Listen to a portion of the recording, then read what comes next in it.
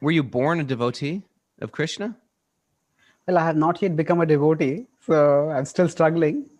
I was born in a Brahmin family, Brahmin family. uh, okay. which is which is pious but not religious. So I knew the stories of and the general concepts of the Bhagavad Gita, the stories of the Ramayana and Mahabharata, but we were more into education and uh, more of uh, westernization. That was the atmosphere in our culture, in our home.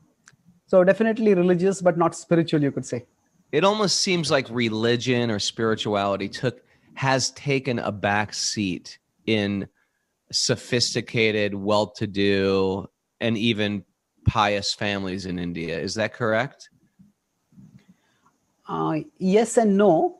Religion, in the conventional sense, has definitely taken a back seat, but spirituality, in the sense of you know, wanting to explore something that will offer peace of mind, that will help one to find fulfillment.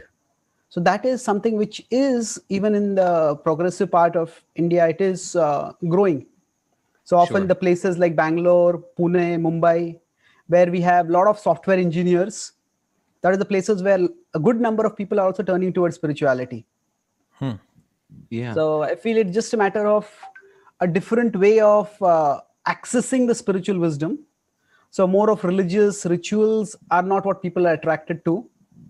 But if if the wisdom is presented in a way that can help people make their lives more meaningful, manage their emotions better, connect with each other more deeply, then definitely spirituality is, in that sense, I would say rising.